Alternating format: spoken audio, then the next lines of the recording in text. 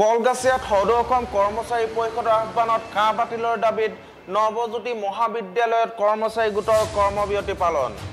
মহাবিদ্যালয়ৰ কৰ্মচাৰীসকলে নাগৰিকত্ব সংশোধনী আইনৰ বিৰুদ্ধে পালন কৰিলে এই কৰ্মবিৰতি। উল্লেখ্য যে সমগ্ৰ অসমৰ লগতে কলগাছিয়াৰ নৱজ্যোতি মহাবিদ্যালয়ৰ কৰ্মচাৰী গোটে আজি কৰ্মবিৰতি পালন কৰে।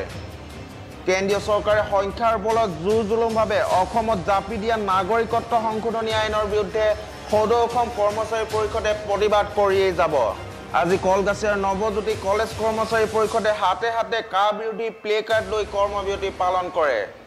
পৰিষদৰ আহ্বানত কা বাতিলৰ দাবীত আমি নৱজ্যোতি কলেজৰ কৰ্মচাৰী গোটে আমি কৰ্মবিৰতি পালন কৰিছোঁ। এই কৰ্মবিৰতি আমি শান্তিপূৰ্ণভাৱে বজাই ৰাখিম চলাই যাম। আমি এই কা নামানো নামানো নামানো। সদৌ কলেজ কৰ্মচাৰী পৰিষদৰ আহ্বানত কাবাতিলত যি এই কৰ্মবিৰতিত আমি নৱজ্যোতি কলেজৰ আহ, কৰ্মচাৰী গোটে হে, পূৰ্ণ সমৰ্থন জনাই কৰ্মবিৰতি পালন কৰি আছোঁ। আৰু এই কাহ বাতিল হ'বই লাগিব বাতিল হ'বই লাগিব এই কাহ বাতিল হ'বই লাগিব। জয় আই অসম জয় আই অসম জয় আই অসম। কলগাছিয়াৰ পৰা জাভেদ আলী অসম টুডে